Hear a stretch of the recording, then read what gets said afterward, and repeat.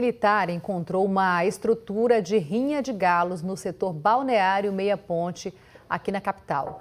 Segundo os militares, o dono do local resistiu à abordagem e precisou ser algemado. Quando os policiais entraram no lote, encontraram várias gaiolas, galos machucados nas asas, no corpo, esporas cortadas.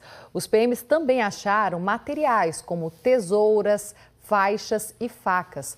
A polícia não conseguiu encaminhar os galos para outro lugar por causa da quantidade, eram muitos. Mas o dono do lote e o irmão dele, que também era dono da estrutura de rinha, foram levados para a central de flagrantes para prestar os esclarecimentos necessários.